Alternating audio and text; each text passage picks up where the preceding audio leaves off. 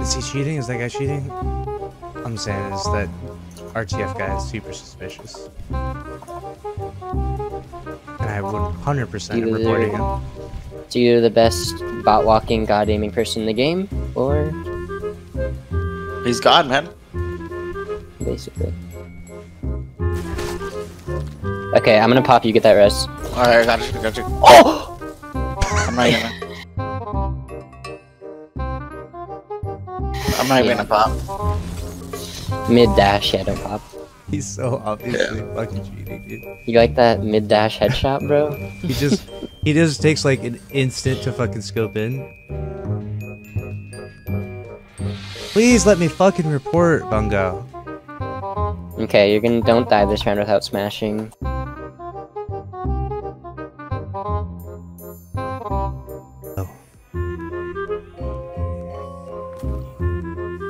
Fuck your aimbot.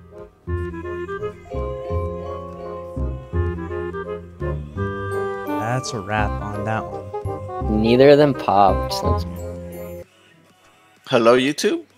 Oh, definitely going on YouTube. Now, I don't know much about the Destiny community. I just got into the game uh, this year, uh, and I've been playing it as a casual, right? But there's a mode called Trials of Osiris where all the try-hard, sweaty players go ahead and they play, and they take it very, very seriously. Unfortunately, Trials of Osiris, because Destiny has decided to go uh, free-to-play for you know people on PC and pretty much uh, yeah Steam you can just get it and download the whole thing you just need to buy the DLC since it's gone free to play uh, there have been a lot of, of hackers and cheaters coming into trials in particular uh, with aim bots and the like so that's a given and a lot of people have been complaining about it or whatever the problem with this is this person here, uh, his name I believe is Luckyy10p.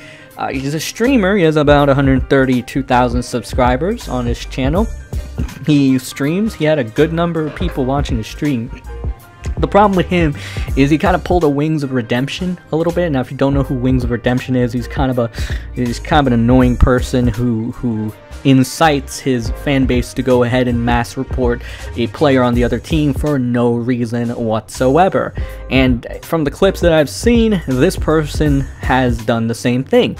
Went ahead, made claims that the opposition was cheating without any real proof other than, oh my gosh, I, I got, I, I, I, I, I died on in, I got scoped, guys. mid dash, yeah, don't pop. He's so obviously fucking cheating, dude. You like that mid dash headshot, bro? Now, it's worth pointing out that the same day, seven hours prior, that uh, Wings of Redemption 2.0 over here made uh, these allegations, he also made a tweet saying, and I quote, The Trials community has turned into a witch hunt community where everyone who loses a game accuses the opposition of hacking. It's sad. Even more sad is the endless harassment that follows. If you think someone is cheating, report them and move on. The problem with this is this statement just reeks of ugh.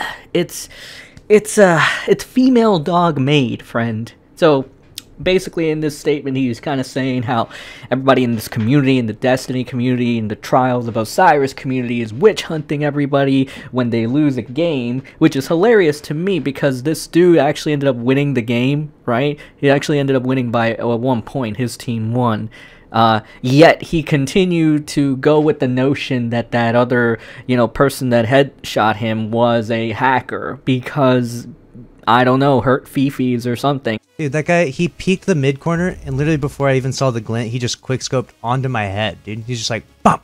I'm like, what the fuck? you see me pop then- super mid dash, switches to sniper, and just quick scopes me. Yeah. And he, he also fired at a wall at me at one point, and he pre-fired you too.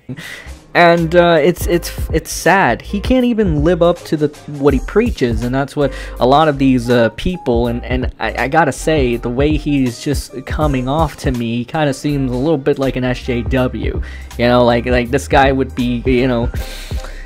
You know, repping that uh, alphabet color flag just just a little bit more than than most.